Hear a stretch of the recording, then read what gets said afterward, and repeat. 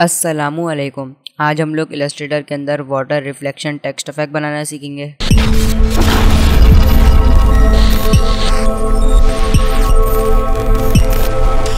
तो यहाँ पे मैंने इलस्ट्रेटर ओपन कर लिया और आपने भी इलस्ट्रेटर ओपन कर लेना है। और इलस्ट्रेटर ओपन करने के बाद सबसे पहले तो आपने एम प्रेस करना है। रेक्टेंगल टूल आ जाएगा और इसके बाद आपने अपने आर्ट बोर्ड के साइज़ का एक रेक्टेंगल बना लेना है। रेक्टेंगल बनाने के बाद जो है आपने जो इसकी फिल है, इसको ब्लैक कलर दे देना है। और जो इसकी स्ट्रोक है, आपने इसको ऑफ़ कर लेना है। इसको ऑफ़ करने के बाद आपने कंट्रोल और टू प्रेस करना है तो ये लॉक हो जाएगा रेक्टेंगल ठीक है? इसको लॉक करने के बाद आपने टी प्रेस करना है।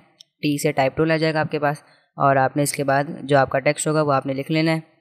और टेक्स्ट लिखने के बाद आपने इसका कलर चेंज करना है। वाइट आपने इसका कलर रखना है और ओके कर लेना है। इसके बाद आपने इसको शिफ्ट प्रेस करके बड़ा करना है टेक्स्ट को। और अगर आपने इसका फ़ॉन्ट चेंज करना हो तो आप प्रॉपर्टीज़ के अंदर जाके इसका फ़ॉन्ट चेंज कर सकते हैं। मैं इसका फ़ॉन्ट चेंज कर रहा हूँ। फ्यूचर में इसका फ़ॉन्ट रखूँगा। तो यहाँ पे मैंने फ़ॉन्ट चेंज कर लिया इसका। और इसी तरह जब आप फ़ॉन्ट चेंज कर लें तो उसके बाद आपने क्या करना है कि ये जो टेक्स्ट है इसकी आपने कॉपी लेनी है। कॉपी लेने के लिए आपने शिफ्ट और ऑल्ट को होल्ड करके रखना है और आपने इसको नीचे की तरफ़ ड्रैग करना है तो ये कॉपी आ जाएगी। इसके बाद आपने इसके ऊपर राइट क्लिक करना है और ट्रांसफॉर्म के अंदर जाके आपने रिफ्लेक्ट के अंदर जाना है। और जो इसका एक्सेस है, इसको आपने हॉरिजॉन्टल पे रखना है और आपने इसको ओके कर लेना है। इसके बाद आपने शिफ्ट प्रेस करके इसको थोड़ा सा ऊपर ले जाना है। इस तरह से आपने इसको ऊपर लेके आना है और इसको ऊपर लाने के बाद आपने लेना है रिंकल टूल अच्छा रिंकल टूल लेने के लिए आपने यहाँ पे विट टूल बना हुआ है। आपने इसके ऊपर राइट क्लिक करना है और ये रिंकल टूल है, आपने इसके ऊपर क्लिक कर लेना है।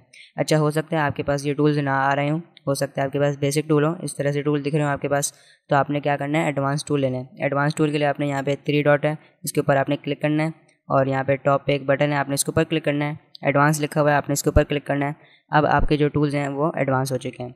अब आपने विथ टूल के ऊपर राइट क्लिक करना है और यहाँ पे रिंकल टूल है, आपने इसके ऊपर क्लिक कर लेना है। अच्छा इसको लेने के बाद आपने रिंकल टूल के ऊपर डबल क्लिक करना है वापस से। और यहाँ पे ये ऑप्शन आ जाएँगे। और ये जो ब्रश के ऑप्शन हैं, ये आपने अपनी मर्ज़ी से रख लेना है। यानी ये जो विद और हाइट है, ये आपने अपनी मर्ज़ी से रखनी है, ठीक है? अच्छा ये जो एंगल है, ये आपने ज़ीरो रखना है और जो इंटेंसिटी है, वो आपने फिफ्टी परसेंट पर रखनी है। अच्छा इसके बाद आपने आ जाना है रिंकल ऑप्शन के अंदर और जो हॉरिजॉन्टल की वैल्यू है, वो आपने हंड्रेड परसेंट डालनी है।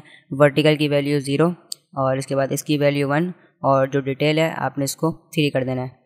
और जिस तरह से मैंने अभी इसकी सेटिंग्स रखी हैं, आपने भी इसी तरह से इसकी सेटिंग्स रखनी है और आपने ओके कर लेना है। इसके बाद ये जो टेक्स्ट है, इसको आपने क्रिएट आउटलाइन कर लेना है। अगर आप क्रिएट आउटलाइन नहीं करेंगे तो ये ब्रश नहीं चलेगा। तो आपने वी प्रेस करना है सिलेक्शन टूल लेना है, वापस से इसके ऊपर राइट क्लिक करना है और क्रिएट आउटलाइन के ऊपर क्लिक कर लेना है। इसके बाद आपने वापस से रिंकल टूल लेना है और अब आपने इसके ऊपर ब्रश करना है। इस तरह से आपने इसके ऊपर ब्रश कर लेना है। इस तरह से ब्रश करने के बाद आपने इसके अंदर ग्रेडियंट ऐड कर लेना है।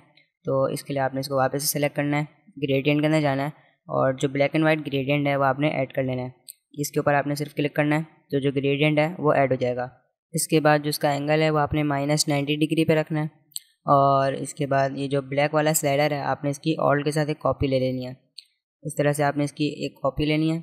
और ये वाला जो स्लाइडर है, आपने इसकी लोकेशन सिक्सटी सेवन परसेंट पर रख लेनी है। और अच्छा एक और चीज़ के, इस पर अभी तक वो रिफ्लेक्शन वाला इफ़ेक्ट आया नहीं है। वो इसलिए से नहीं आया क्योंकि जो हमने कलर ऐड करा है, वो ब्लैक नहीं था। तो मैं इसके ऊपर डबल क्लिक करूँगा और ये जो ब्लैक कलर है, वो मैं सिलेक्ट कर लूँगा। इसी तरह, इस वाले के ऊपर भी मैं डबल क्लिक करूँगा और मैं ब्लैक कलर सेलेक्ट कर लूँगा। आपने भी इसी तरह जो भी आपका जो बैकग्राउंड का कलर है, वो आपने ग्रेडियंट के अंदर डालना है, तभी ये अफेक्ट आएगा। तो इस तरह से आप वाटर रिफ्लेक्शन टेक्स्ट इफ़ेक्ट बना सकते हैं और आई होप कि आपको ये वीडियो पसंद आई होगी और अगर आपको ये वीडियो पसंद आई है तो इस वीडियो को लाइक करें और अगर बहुत ज़्यादा पसंद आई है तो इस वीडियो को अपने दोस्तों के साथ शेयर करें और जिन लोगों ने सब्सक्राइब नहीं किया हुआ तो वो चैनल को सब्सक्राइब कर लें और जिन लोगों ने अभी तक मुझे इंस्टाग्राम पर भी फॉलो नहीं करा तो मुझे इंस्टाग्राम पर भी फॉलो कर लीजिए। इन अब आपसे मुलाकात होगी अगली वीडियो में। अल्लाह हाफिज़।